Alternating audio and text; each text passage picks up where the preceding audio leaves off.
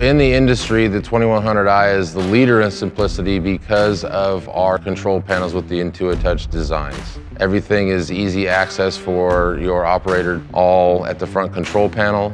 Our previous control panels uh, had multi-toggle switches that you would use versus a one button option that we have now.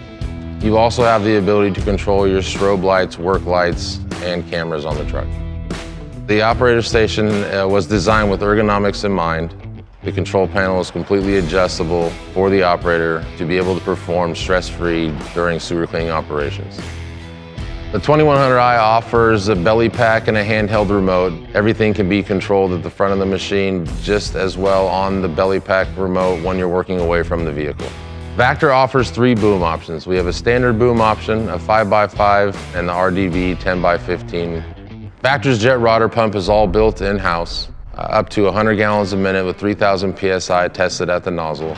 We have an easy activated and powerful jackhammering effect for long runs and major debris blockages.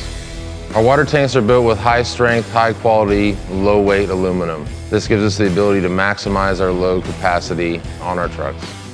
Our water tanks feature superior corrosion resistance and we're backed with a 10 year warranty. The positive displacement blowers we offer carry an inlet in excess of 5,000 CFM and a vacuum power of up to 18 inches of mercury.